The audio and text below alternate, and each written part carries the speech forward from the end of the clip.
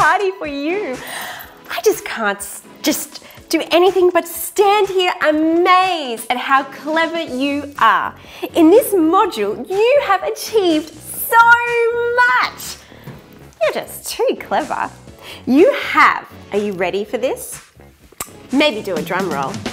You've been dividing with halves, fifths and tenths, dividing with quarters and thirds, multiplying and dividing larger numbers by 10, doubling and halving numbers to 99.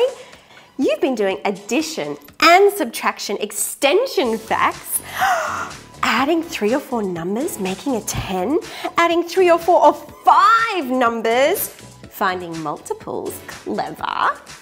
Ah, now it's time for you to revise those strategies and do your post test.